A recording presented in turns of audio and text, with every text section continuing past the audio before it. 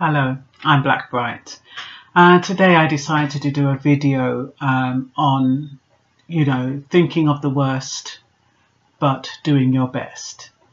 So I was thinking about, you know, I've been sending out a lot of videos about what I feel is happening, what I feel is going on with the government and their strategizing. And I can imagine how vulnerable a lot of people feel. I can imagine those who are um, overstayers being vulnerable and wondering whether or not they're going to be picked up.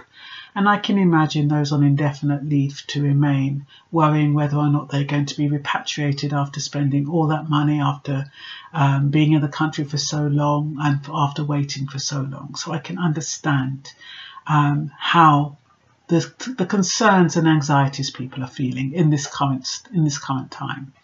And I thought to myself, you know, what what resolve is there? What can we do to mitigate this, to make us feel a little better, to make us feel as though we have an element of control over what is happening?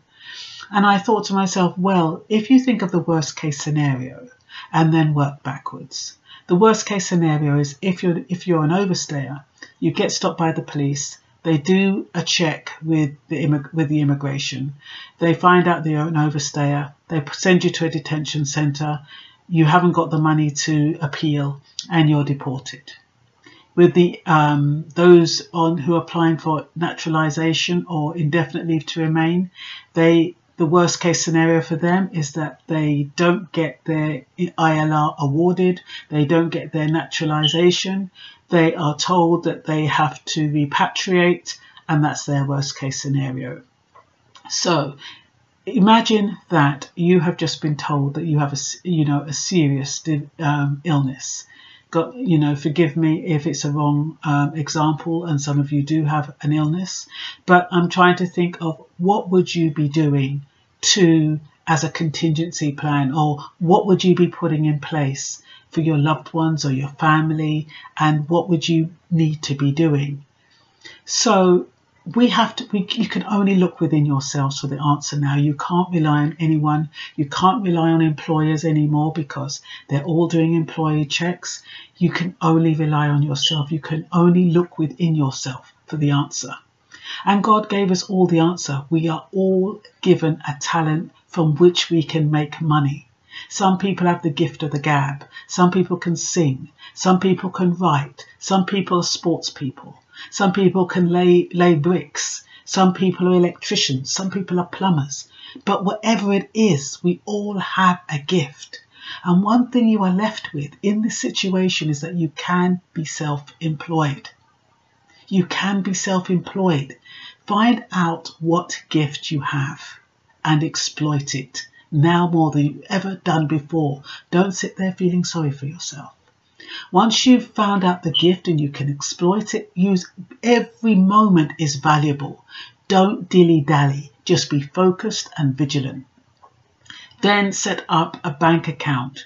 Um, online banking, you can do it in whichever country you come from. You can do, make online bank accounts now. I'm not quite sure how you verify the ID, but they, they, they tell you how you can do that and then you can start sending money over. So at least if you do get caught short, you've got money there in the bank waiting for you.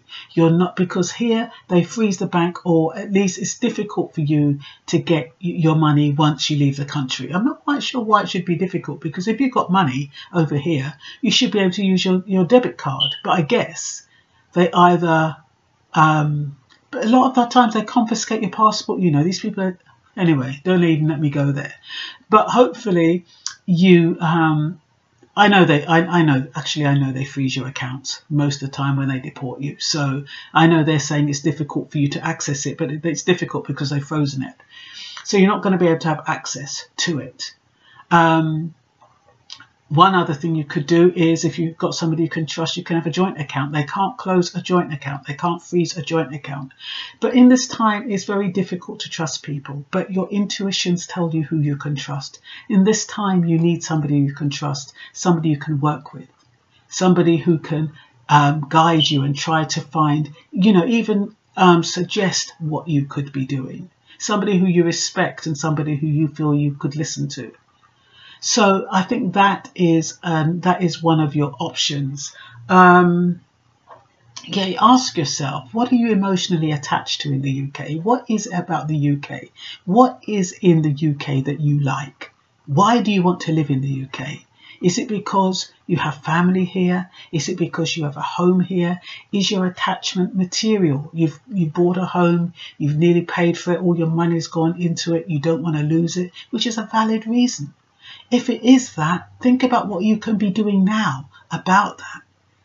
If it's your family, think about whether or not this is the be all and end all, and whether your family would be willing to go where you are from. If they love you and they're with you, they should be. So you don't have to lose out on that. If you're thinking about your income or they're thinking about their income, they might be saying, I can't go over to where you live. How am I going to work? How am I going to get money?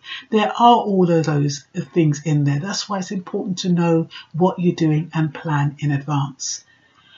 So, um, yeah. Yeah, you know what's important? Your reputation. Because people come on recommendation. It's no point, um, you know, going around and thinking you can get work when you have a sour face or you have an attitude. Always try to smile and be pleasant. Remember the plastic smile that these people have? Learn to adopt it. it Horsemouth in Smile Orange said, in order to get through life, you have to play a part. You have to learn to play a part. Now is the time to play a part, to get what you want, to succeed in what you want, so that you leave this country, if you do have to leave, with pride and not in shame. Remember, when they deport you, it's synonymous with slavery. They, they make sure you've got the chains around your legs and they're showing people this is what we do to people that come into our country and overstay, who don't live by our rules. We treat them like criminals. Don't you don't want to come here because this is how we treat them. So it's synonymous with slavery. You go back feeling humiliated. You you need to go back with dignity and pride.